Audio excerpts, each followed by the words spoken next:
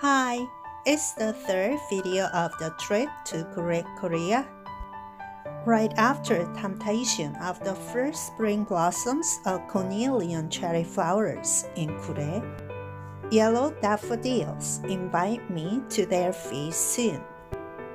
Jirisan Cheese Land with Kuman Lake in front is called Korean Alps. So when beautiful daffodils bloom in spring, don't resist their temptation. Chowon Cattle Ranch, which started with just two milk cows in 1979, began farm experiencing in 2012. At Jirisan Cheese Land, they sell homemade cheese and yogurt, but they are unavailable in busy spring season. I recommend visiting it during a weekday as it's so crowded with many tourists.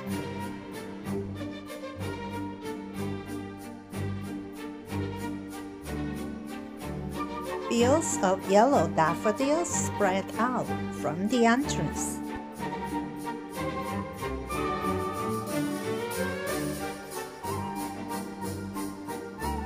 I'm so excited as it's my first time to see the huge fields of daffodils.